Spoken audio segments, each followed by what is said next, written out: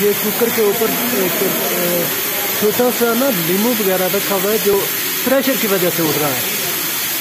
मुझे बहुत खूबसूरत लगा खाते हुए, मैंने कहा कि ये भी अपने व्यूवर्स को दिखाता चल।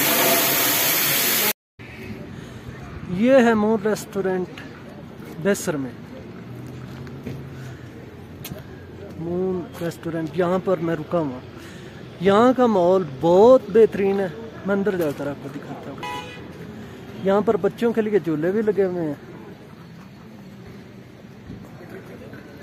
ये देखे राइड भी बनी हुई है। ये इनका बैठने का इंतज़ाम है। ये बहुत खूबसूरत तरीके से ये सजाई गई है सारी चीज़ें।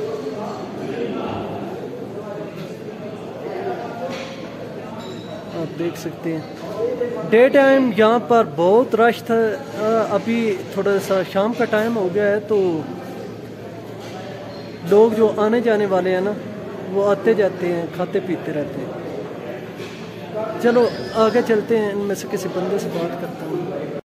यहाँ पर खाने पीने की तैयारी हो रही है। तो और ठीक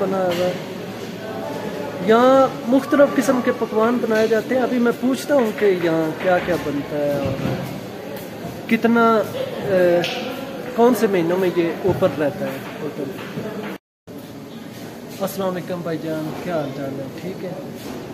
ठीक ठाक से अलहदुल्ला क्या नाम है भाई आप अब्दुल बासित अच्छा अब्दुल बासित भाई आप इसी होटल पे रहते हैं जी यहीं पर अपना काम करते हूँ। तीन चार पाँच साल से काम पे। अच्छा और क्या ये आप बता सकते हैं कि यहाँ पर जो विजिटर आते हैं उनको क्या क्या चीज़ें खाने को मिल सकती हैं?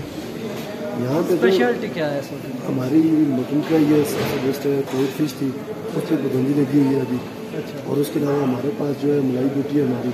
अच्छा। और मून स्पेशल राइस है। उसके अलावा शनवारी फ़ूड है। और उसके अलावा हमारे पास दाल, सब्ज़ी भी होती है यहाँ पे सबसे ज़्यादा स्पेशल कगानी रोटी होता है हमारा यहाँ कगानी अच्छा अच्छा। अच्छा और दिलचस्पी की बात मैं आपको बताऊँ कि मैंने यहाँ की सफ़ाई बहुत ज़्यादा देखी है। खाना पकाने में और सारा मतलब रेस्टोरेंट ही बहुत साफ़ सुथरा है, माशाल्लाह। और क्या आप ये मुझे बता सकते हैं कि साल के कितने महीने इस जगह पर विजिटर आ जा सकते हैं? क्योंकि मैंने सुना है कि रास्ते बंद हो जाते हैं अक्टूबर के बाद। जी जी बने होते हैं सफ़ाई के पहले आपने ज़िक्र किया। हमारे जो ऑनर है वो ज़्यादातर फोकस जो है उनका पूरा का पूरा ये सफ़ाई पे होता है ठीक है? है। जितना भी हो वो सफ़ाई ज़्यादातर देखते हैं खुद आप देखते हैं। और यहाँ पे कैमरे लगी हुई सारी चीज़। है जब भी वो आते हैं इसी चीज़ को मतलब ज़्यादा प्रेफर करते हैं कि। सफ़ाई ज़्यादा हो। जी सफ़ाई ज़्यादा हो हर वक्त सफ़ाई क्योंकि अगर आपके पास विजिटर आएँगे तो वो सबसे पहले देखेंगे कि यार इनकी सफ़ाई कैसी है। सफ़ाई के बाद खाने पे आता है। अगर आप की सफ़ाई ठीक नहीं है तो विजिटर का जेन उस तरह का नहीं बनता अच्छा इसका मतलब है कि मई से लेकर अक्टूबर तक ये खुलता होगा। ये पाँच महीने चार महीने काम होता है। चलो ठीक है। आ, ये मैंने आपकी गपशप करवाई है इधर से आपको पता चल गया होगा कौन कौन से खाने यहाँ पर मिलते हैं क्योंकि यह जगह मुझे बहुत खूबसूरत लगी है और लोग भी बहुत प्यारे हैं। क्योंकि बहुत हेल्पफुल हैं और आपको अगर आप यहाँ पर आते हैं तो आपको किसी किस्म की तकलीफ़ नहीं होती। इसीलिए स्पेशली मैंने इनका विज़िट किया है और इनसे थोड़ा सा इंटरव्यू किया है ताकि मैं अपने देखने वालों को अपने चाहने वालों को बता सकूँ। कि अगर आप इस साइड का कभी विज़िट करते हैं तो इस जगह पर ये कौन सी जगह सर ये वादी ये वादी कगान और ये ज़िला मंसर है। ज़िला मंसर है कैसे? तहसील बालाकोट है। और ये बड़ी सा टॉप से थोड़ा सा नीचे इसका नाम है बेसर। ये दस हज़ार चार सौ कुछ फिट है। जी बुलंदी पर है। और यहाँ पे दीदीपात पैदल ट्रैकिंग से रास्ता भी निकलता है लोग अक्सर पैदल ट्रैकिंग करते हैं। अच्छा अच्छा। और यहाँ झील लुलूसर भी है साथ बड़ी से ताप है। और बहुत सी झीलें साथ साथ माला है जैसे धर्मसर है है। है। लोग आते हैं यहाँ स्पेशली यहाँ पे। तो और भी झीलें देखने के काबिल बहुत सारे ज़्यादा जगह। ठीक है जी मैं प्रेफर करता हूँ आपसे अगर आप यहाँ पर आते हैं अगर आप यहाँ से गुजर रहे हैं तो यहाँ पर ज़रूर आइए। ये जी मोर रेस्टोरेंट वालों की तरफ़ से बहुत खूबसूरत हॉस्पिटलिटी है मेरे लिए।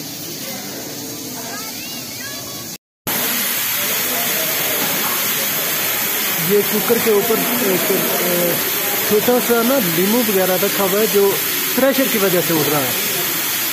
मुझे बहुत खूबसूरत लगा खाते हुए मैंने कहा कि ये भी अपने व्यूवर्स को दिखाता चलूँ।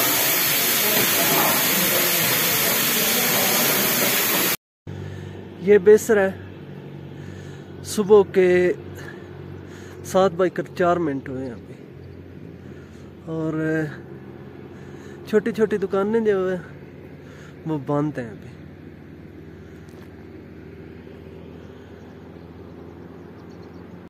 बिस्मिल्लाह रहमान रहीम सुबह के सात बजे हैं और मैंने अपने सफ़र का आगाज़ कर दिया है बेसर से।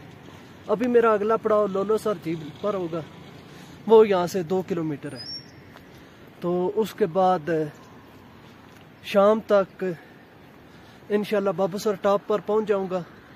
वो जगह यहाँ से 20 किलोमीटर है। आज बाबूसर टॉप पे रुकना है।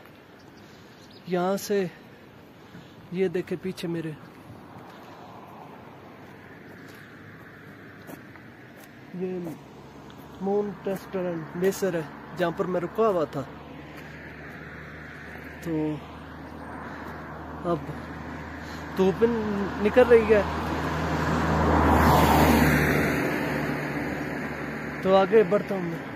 बेसल, बुलंदी चार हज़ार चार सौ बत्ती फीट। आबादी कोई नहीं लिखी हुई, अगला मकाम गटी दास। चार हज़ार दस हज़ार चार सौ बत्तीस फिट सतह समंदर से बुलंद है ये। वो दूर जहाज़ पता नहीं नहीं दिखाई दे रहा। गलगेत की तरफ़ जा रहा है। गलगेत यहाँ से तकरीबन को पौने 200 किलोमीटर बनता है। बड़ा शहर इर्द गिर्द गिलगेती है अभी उससे छोटा शहर चिलास आएगा तो ये देखें, ये वादी सुबह सुबह का मंजर है।